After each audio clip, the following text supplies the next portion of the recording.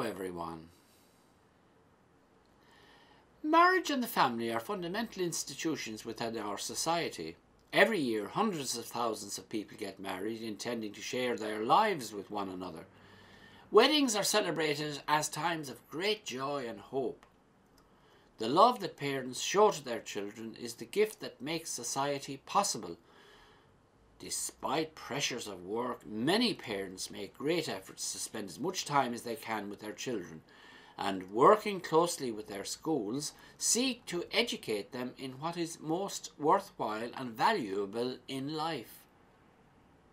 However, changes in our society have had a significant effect on the institution of marriage and the family.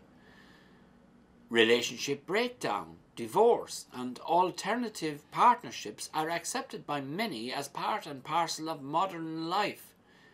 For instance, in the year 2000, while there were 305,000 marriages, there were over 154,000 divorces, according to the Office of National Statistics.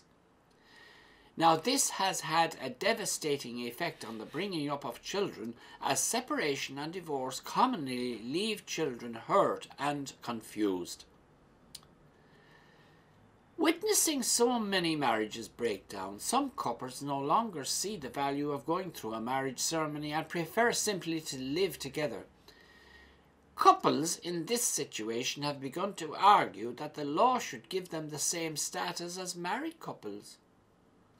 Parliament has sought to reflect this change in society by voting to amend the law on adoption so that an unmarried couple could adopt as a couple. However, it should be noted that at present, the, relate, the rate of relationship breakdown in cohabiting unmarried couples is significantly higher than is in the case of married couples. Threats to family stability can also arise from various exter external factors, for example, poor housing, unemployment, and low income. Violence and crime can make neighbourhoods hostile to family life.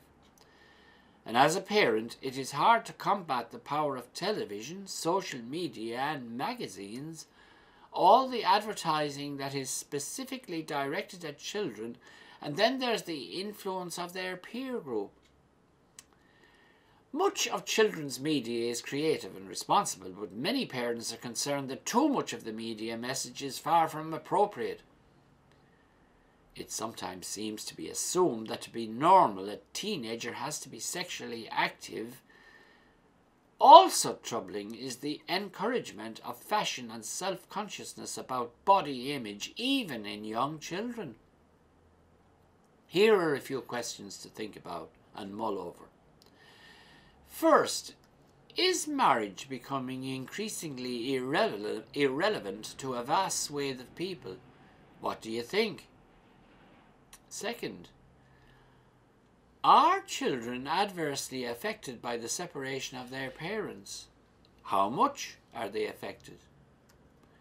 Third, if children are brought up in a loving home, does it matter whether the parents are of the same or opposite sexes?